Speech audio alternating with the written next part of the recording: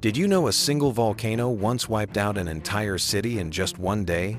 Stick around because these are volcanoes that changed history forever.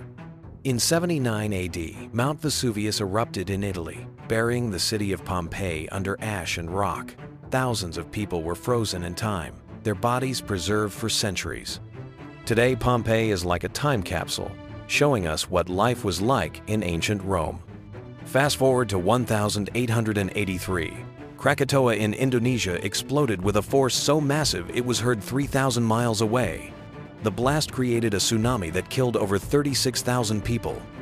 For years, sunsets around the world turned fiery red because of the ash in the sky.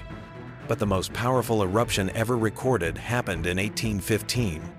Mount Tambora, also in Indonesia, erupted with such force that it caused what's called the year without a summer.